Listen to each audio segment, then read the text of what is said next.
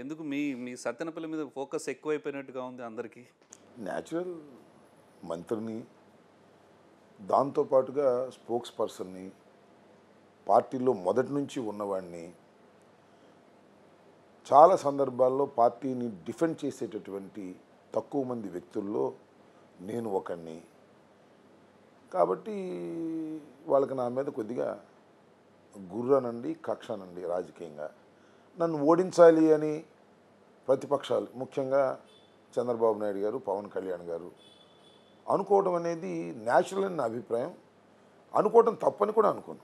ఒక బలమైన నాయకుడిగా నన్ను గుర్తించి నన్ను ఓడించాలి శాసనసభకు రాకోకుండా చేయాలి అని అనుకోవడంలో తప్పు కాదు. దట్ ఈస్ దైర్ స్ట్రాటజీ దానికి తగ్గట్టుగానే నేను కూడా ఏ విధంగా అయినా గెలవాలి అనేది నా పార్టీ కూడా రాంబాబు లాంటి ముఖ్య వ్యక్తుల్ని గెలిపించుకోవాలి.